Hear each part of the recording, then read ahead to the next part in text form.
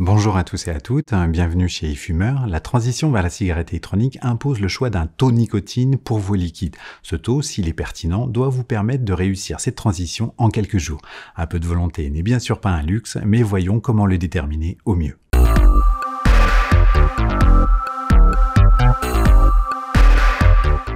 Alors oui, un fumeur est dépendant à la nicotine. Le fait de passer à la vape ne supprimera malheureusement pas cet état de fait. Euh, cette dépendance à la nicotine n'est heureusement pas le danger premier d'une cigarette classique. Elle n'est pas cancérigène et la combustion, les goudrons et quelques composants surprenants font bien sûr beaucoup plus de dégâts. Si vous vous lancez dans la vape, hein, le geste, les goûts et donc les habitudes vont changer. Mon premier conseil est donc que cette dépendance ne soit pas un problème, au moins lors de vos débuts. En clair, il vaut mieux un petit peu plus que pas assez. Euh, nous allons voir que naturellement, vous limiterez tout à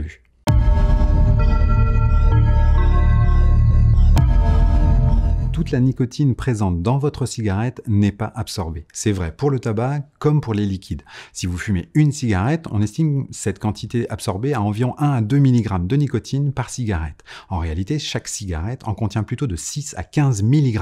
La perte est donc importante. Pour la vape, ce phénomène est lui aussi présent. Euh, si vous avez le besoin d'absorber 10 mg de nicotine par jour, soit environ une dizaine de cigarettes, il faudra certainement que la quantité de liquide vaporisé contienne bien plus que ces 10 mg. Euh, vraisemblablement, cette quantité de liquide devra contenir 20 ou 30 mg, voire beaucoup plus selon votre matériel et votre façon de vaper. Pour vous donner un exemple, ces 20 à 30 mg de nicotine représentent environ 2 à 3 ml par jour avec un taux de 12 euh, ou 4 à 5 ml par jour avec un taux de 6 mg. Le volume de liquide vaporisé a bien sûr lui aussi son importance.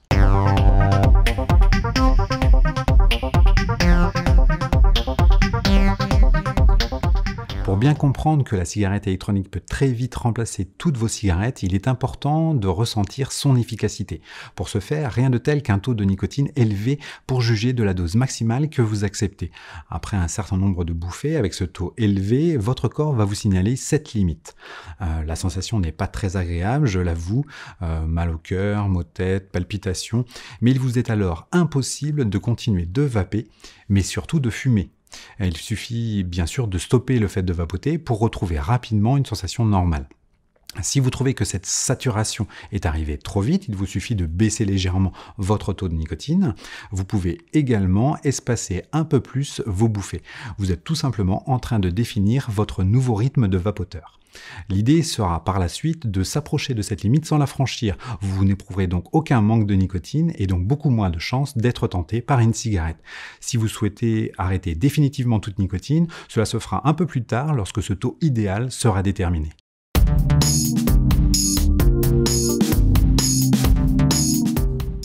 Si généralement on va conseiller des taux de 12 à 18 pour des fumeurs au-dessus du paquet par jour ou des taux de 6 à 12 pour les fumeurs autour de la dizaine de cigarettes, ce taux est malheureusement très difficile à déterminer de façon précise.